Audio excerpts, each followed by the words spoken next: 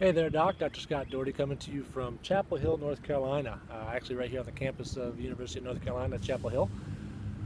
Beautiful campus. Uh, actually, a campus I've always wanted to visit. Uh, first time I've actually gotten out this way. I've been in the area of Raleigh, um, Wake Forest, but never actually been to Chapel Hill. So, getting to see the campus for the first time, had a fascination with it since uh, I was in eighth grade playing basketball, and Michael Jordan was playing at University of North Carolina. So, uh, glad I finally got here, got to see this campus. If you ever get a chance, check it out.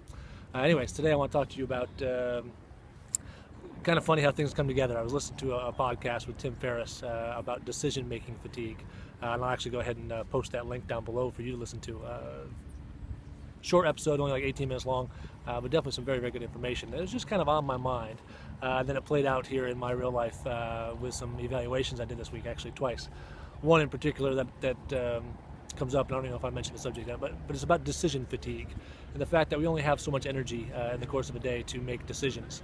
Uh, so we should plan our lives around that and, and, be very good about it. It's something I've always been fascinated with, and I've always tried to have good morning routines to make sure that uh, my days went as planned because obviously you know uh, the more you, that happens to you in the day and you have to make decisions the, the worse the end of your day goes uh, and that's kind of what again played out here i showed up uh, a little early for an evaluation uh, and the doctor was running a little behind. And the reason he was running a little bit behind was very evident as I stood there in the waiting room and watched him process a few patients. Uh, I actually saw him uh, see probably about eight patients go through, and every one of them required decisions from him. From his staff required decisions from him, and he was one of those classic doctors that uh, suffers from burnout, uh, which I'm hearing quite a bit lately. And again, all really, I shouldn't say all, but a lot of it comes back to this uh, same idea of, of decision fatigue him in particular, again, just very obvious that um, his staff, every time a patient walked the door, had to ask him a question. Uh, what their frequency was, uh, what kind of therapy he wanted on them. Uh, it wasn't, you know, at the end of the day, I asked him about it. He said it was written down somewhere, but I didn't see it where it was written down either. So the staff certainly didn't know, and that just caused that just ate at him. So he'd be in the middle of adjustment, have to get interrupted uh, to make a decision. Uh, and again, it was a decision he's already made. Uh, he just wasn't on paper written anywhere, so he had to make the decision again and that really burned on him. So, as the end of the day, he was tired. He was burnt out. He's not seeing the volume of patients he wants to see. It's just that every patient requires more energy in order to make those decisions.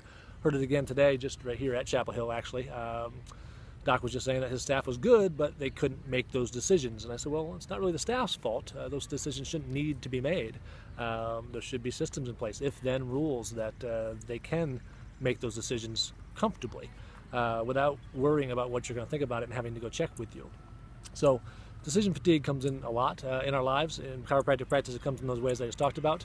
But even with your overall life, especially when we're talking about growing a practice, a lot of docs tell me they don't have any energy left over. Like, where are they going to find more energy to to grow a practice? And hopefully, you know my philosophy about it now. Growing a practice actually should be less energy. It should be easier uh, to jump to the next level. But besides that, uh, even if you are looking for more energy, um, you've got to remove a lot of those decisions. Um, I've heard this a lot, and you may you may have actually said it. I know I've said it once or twice in my life. You know, your spouse asks you what you want for dinner, and you're like, oh, I made some decisions all day long. I don't want to make that decision too. Just have dinner ready.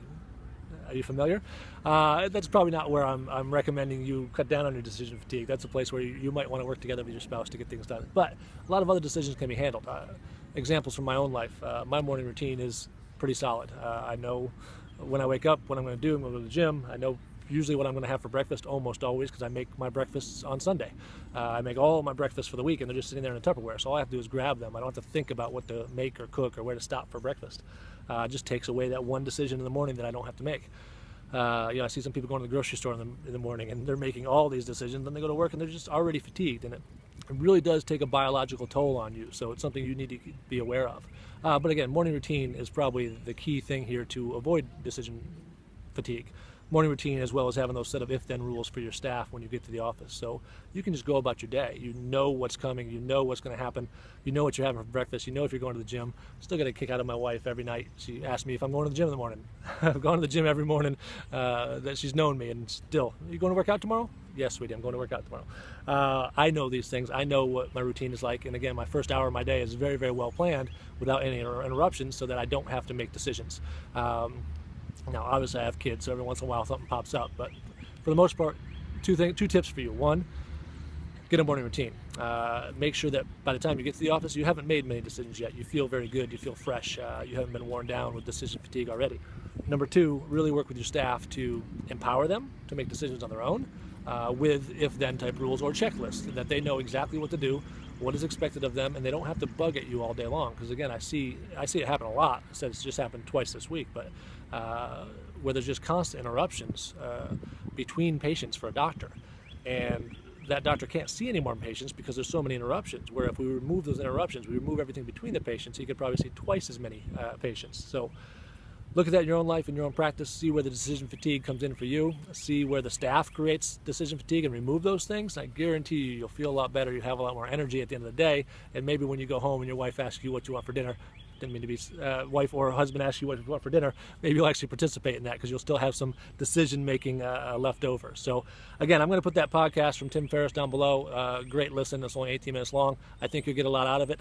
Uh, I certainly like hearing the comments uh, on these videos, the the beautiful places I get to see, the campuses I go to. So put any comments you have down below below the podcast, which is below the video, and I'll talk to you on my next trip.